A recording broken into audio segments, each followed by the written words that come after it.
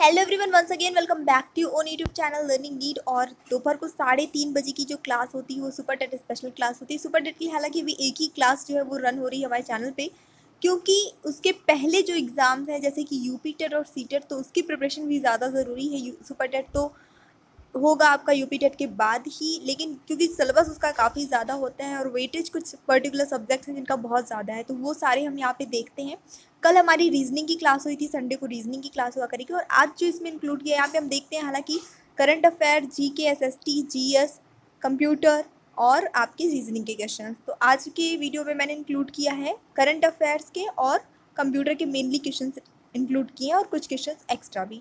तो चलिए स्टार्ट करेंगे बिना टाइम वेस्ट किए जितने लोग भी जुड़ चुके हैं तो फटाफट से रिप्लाई करने के लिए रेडी हो जाइए। सो आज का फ़र्स्ट क्वेश्चन है एयरपोर्ट काउंसिल इंटरनेशनल की रिपोर्ट के अनुसार तेज़ी से बढ़ने वाले दुनिया के पाँच शीर्ष एयरपोर्ट में भारत के कितने एयरपोर्ट शामिल हैं? तेज़ी से बढ़ने वाले दुनिया के पाँच जो टॉप एयरपोर्ट लिस्ट में हैं, जो टॉप पर हैं, उन पाँच में से कितने इंडिया के हैं? करेक्ट आंसर होता है इस क्वेश्चन के लिए आपका ऑप्शन नंबर सी दो एयरपोर्ट पाँच में से दो एयरपोर्ट हमारे इंडिया के हैं। Translation health science and technology institute के डॉक्टरों के अनुसार किस संक्रामक रोग को पैदा करने वाले जीवाणुओं ने एंटीबायोटिक दवाओं के खिलाफ प्रतिरोधक क्षमता विकसित कर ली है? यानी कि ये संक्रामक रोग को जो जिन जीवाणु से पैदा होते हैं तो वो जीवाणु अब इतने वो हो चुके हैं कि जो भी इनकी एंटीबायोटिक दवाइयाँ होती हैं ना, उसके भी खिलाफ उनके अंदर प्रतिरोधक क्षमता, यानी कि वो उसको असर नहीं करेंगी एंटीबायोटिक दवाइयाँ। करेक्ट आंसर होता है इसका ऑप्शन नंबर बी हैजा मीन्स कॉलरा। आईफा अवार्ड्स 2019 में निम्नलिखित में से किसे सर्वश्रेष्ठ अभिनेत्री का खिताब हासिल हुआ है?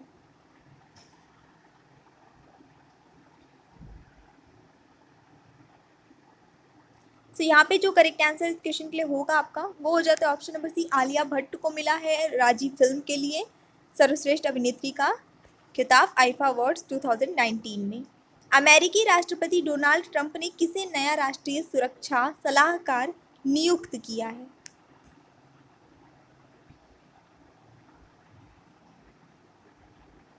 उत्तर यहाँ पे सही होता है, आपका option number A Robert O'Brien को हाल ही में राजनाथ सिंह कौन से स्वदेश निर्मित विमान में उड़ान भरने वाले पहले रक्षा मंत्री बने? आपको उस विमान का नाम बताना है जो कि पूरी तरह से स्वदेश निर्मित है।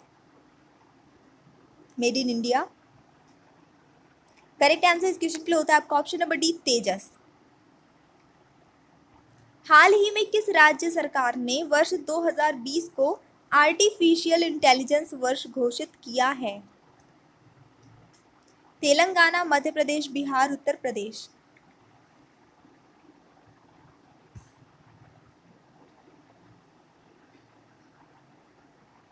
और यहाँ पे सही उत्तर हो जाता है आपका option number A, Telangana. Uttar Pradesh के किस विश्वविद्यालय में तीन तलाक पर रोक लगाने वाले मुस्लिम महिला यानी विवाह अधिकार संरक्षण अधिनियम को एलएलबी और एलएलएम के पाठ्यक्रम में शामिल करने वाला पहला राज्य का पहला विश्वविद्यालय बन गया। यानी कि इस विश्वविद्यालय ने तीन तलाक वाला जो आपका अधिनियम चल रहा था, जो अधिकार संरक्षण है, उसको सिलेबस में इंक्लूड कर दिया। एल एल और एम यानी कि जो भी लोग वकालत पढ़ते हैं, उनके सिलेबस में इंक्लूड कर दिया है। और इस तरह से वो सिलेबस में इस टॉपिक को इंक्लूड करने वाला राज्य का पहला विश्वविद्यालय बन गया है। ऑप्शन सारे देख लीजिए, कौन सा विश्वविद्यालय है?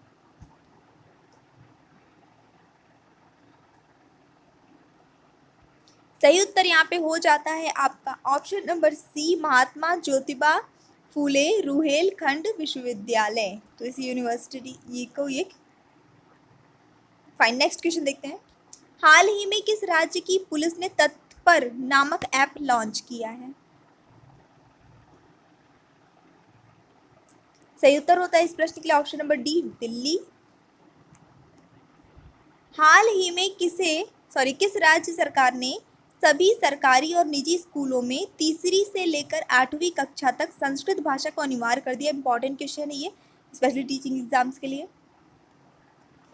यानी कि चाहे गवर्नमेंट स्कूल हो, चाहे प्राइवेट स्कूल हो थर्ड से लेके एट्थ तक संस्कृत पढ़नी ही पढ़नी है। नहीं तो अभी क्या है कि प्राइवेट स्कूल्स में संस्कृत कैसी पढ़ाई जाती है? सिर्फ़ तीन साल पढ़ाई जाती है कई सारे प्राइवेट स्कूल्स में।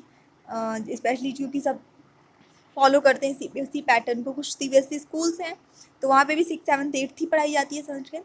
अब बाकी जो प्राइवेट स्कूल भी है तो वो सी बी एस ई को फॉलो करते हैं, उसका पैटर्न फॉलो करते हैं, इसलिए वो भी तीन ही साल पढ़ाते हैं। और बच्चे इसीलिए आज की जनरेशन जो है, वो संस्कृत से बहुत दूर भाग रही है। संस्कृत उनके लिए जैसे कोई बहुत बड़ी पहाड़ वाली चीज़ है, ये सिचुएशन क्रिएट होती जा रही है। इसको ध्यान में रखते हुए उत्तराखंड सरकार ने इसको अनिवार्य किया है। भारत ने किस योजना के तहत जुलाई 2019 में एक दशमलव छः नौ बिलियन डॉलर का अब तक का उच्चतम मासिक प्रवाह दर्ज किया है?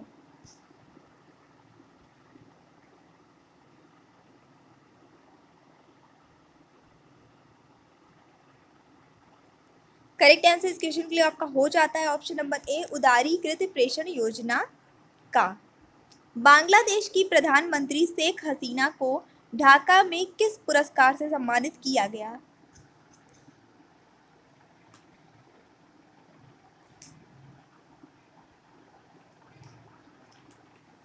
उत्तर सही होता है इसका, आपका option number D doctor Kalam स्मृति अंतर्राष्ट्रीय उत्कृष्टता पुरस्कार तो नेशनल अवार्ड है, इन्हें मिला है। हाल ही में किस राज्य ने वनों के निकटवर्ती क्षेत्रों में जंगली जानवरों के प्रवेश को रोकने हेतु बायो फेंसिंग के प्रयोग का फैसला किया है कि फेंसिंग करवाई जाएगी प्रॉपर फटाफट से देखिए ताकि आसपास के क्षेत्र में जंगली जानवर ना घुस सकें।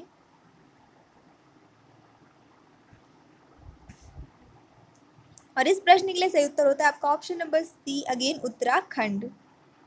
हाल ही में किस संस्था द्वारा जारी एक रिपोर्ट के अनुसार वर्ष 2019 में विश्व में भारतीय प्रवासियों की संख्या सबसे अधिक रही है।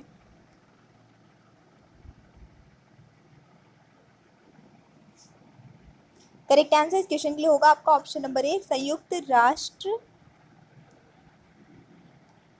निम्नलिखित में से किसे भारत का अगला वायुसेना अध्यक्ष चयनित किया गया है? R K S Bhadauria, J B S Kaushik A S Narayan या वी के पचौरी।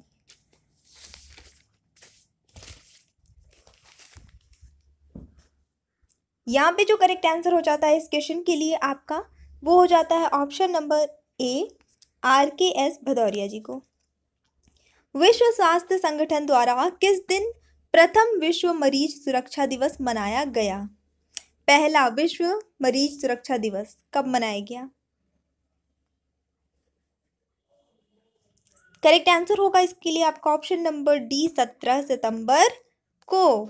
अब देख लेते हैं हम यहाँ पे कुछ कंप्यूटर के क्वेश्चंस कंप्यूटर हार्डवेयर जो आंकड़ों की बहुत अधिक मात्रा को भंडार में रख सकता है, क्या कहलाता है? ऑप्शंस हैं डिस्क, चिप, चुंबकीय टेप या इनमें से कोई नहीं। छोटी सी रिक्वेस्ट है, अगर क्वेश्चन अच्छे लग रहे हो तो प्लीज़ लाइक करिए सभी लोग वीडियो को और शेयर भी कर दीजिएगा। आप चैनल पे न्यू हैं, अभी तक सब्सक्राइब नहीं किया है तो प्लीज़ सब्सक्राइब करके बेल आइकन प्रेस कर दीजिए ताकि आपको नोटिफिकेशन ईजिली मिल सके। यहाँ पे जो करेक्ट आंसर इस क्वेश्चन के लिए होता है, वो आपका होता है ऑप्शन नंबर बी सबको पता है चिप कंप्यूटर हार्डवेयर की बहुत सारी मात्रा हम जनरली हम उसको जनरली चिप कहते हैं, आप उसे मेमोरी कार्ड कहते हैं, आप कुछ भी कह सकते हैं दैट्स योर चॉइस लेकिन उसको चिप कहा जाता है और उसमें आप बहुत ज़्यादा मेमोरी भंडारित करके रख सकते हैं। होती ना एक छोटी सी चिप होती है, लेकिन उसमें कितनी सारी मेमोरी होती है। इंटीग्रेटेड सर्किट चिप का विकास किसने किया था? जिसको आप आईसी चिप कहते हैं। तो इसका विकास किया था जे एस किल्बी ने। और इस पर किसकी परत होती है? आईसी चिप जो होती है, उस पर किसकी परत होती है? किसका लेपन होता है? सिलिकॉन, निकल, आयरन या कॉपर? तो इस पर होती है सिलिकॉन की परत। चुंबकीय डिस्क पर किस पदार्थ की परत होती है? जो आपकी मैग्नेटिक डिस्क होती हैं, उस पर कौन से पदार्थ का लेपन किया गया रहता है? Iron oxide, phosphorus pentoxide magnesium oxide और सोडियम पेरोक्साइड।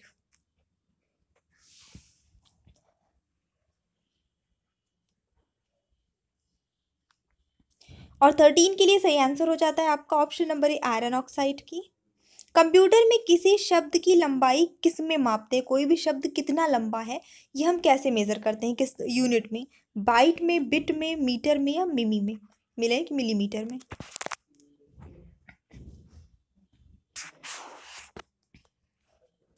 यहाँ पे सही आंसर आपका हो जाता है ऑप्शन नंबर बी हम उसे बिट में मेज़र करते हैं, मानते हैं कि एक बिट में एक जो है कैरेक्टर हो सकता है। फिर आपका बिट से ही ऊपर बाइट जो है उसके ऊपर की यूनिट है, फिर ऐसी आपकी बनती जाती है, ठीक है? Kilobyte megabyte gigabyte megabyte में मापते हैं क्या? भूकंप की तीव्रता, जनसंख्या घनत्व, शक्ति व्यय की क्षमता या कंप्यूटर की स्मृति क्षमता, यानी कि मेमोरी तो मेगा बाइट फुल फॉर्म है एमबी का। हम सब जानते हैं इतने एमबी का डाटा है, इतने एमबी डाटा है, या इतनी जी की मेमोरी कार्ड है वट इस तरह से हम अक्सर यूज़ भी करते हैं ये टर्म्स अपनी डेली लाइफ में। तो आसान हो जाता है इसका आंसर ऑप्शन नंबर डी हो जाएगा कंप्यूटर की स्मृति क्षमता। अगला प्रश्न है, भारतीय ज्ञानपीठ पुरस्कार के प्रथम विजेता साहित्यकार थे कौन? यानी कि भारतीय ज्ञानपीठ पुरस्कार को जिन्होंने जो, जिन साहित्यकार ने सबसे पहले पाया था वो किस साहित्य के साहित्यकार थे? हिंदी साहित्य, बांग्ला साहित्य, कन्नड़ या मलयालम? और इस प्रश्न के लिए सही उत्तर हो जाता है आपका ऑप्शन नंबर डी, मलयालम साहित्य के साहित्यकार थे। भारतीय ज्ञानपीठ पुरस्कार से पुरस्कृत सर्वप्रथम साहित्यकार हैं। अब ये तो सेम क्वेश्चन आपका है, लेकिन यहाँ पे पूछा था कि किस साहित्य के थे और यहाँ पे क्या पूछ रहा है? कि वो उनका नाम क्या था? तो अभी आप देख लीजिए उनका नाम।